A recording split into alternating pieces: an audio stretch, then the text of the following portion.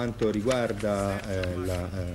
squadra italiana, positivo perché eh, mette quasi al sicuro eh, la squadra bianconera che dovrà soltanto vincere al ritorno, però appunto c'è questo imperativo categorico di dover vincere assolutamente con qualsiasi punteggio, ma la Juventus deve vincere perché qualunque pareggio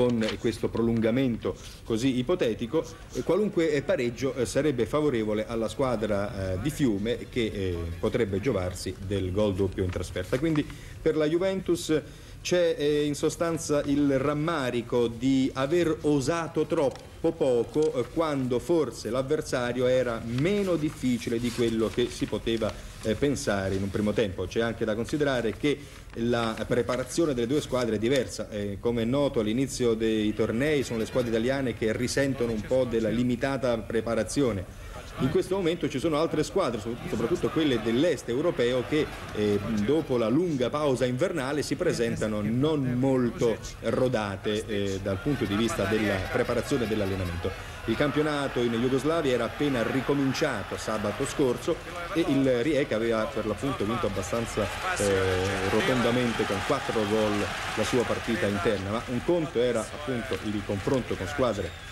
della stessa eh, nazione, cioè dello stesso livello di preparazione, un conto con squadre che invece sono in piena attività come la Juventus. Qui vediamo un'altra delle occasioni con un calcio di punizione di eh, Cabrini e Brio che non riesce a concludere. Brio ha avuto un paio di occasioni per poter eh, segnare, eh, non si è accorto bene in questa occasione del, della palla che gli è schizzata all'ultimo momento e anche nell'azione che vedremo, che sarà l'ultima dedicata al eh, servizio su Rieca Juventus è sempre lo stopper che avrà un'altra opportunità. Anche qui nasce da un calcio piazzato l'azione, poi il colpo di testa è troppo alto. 0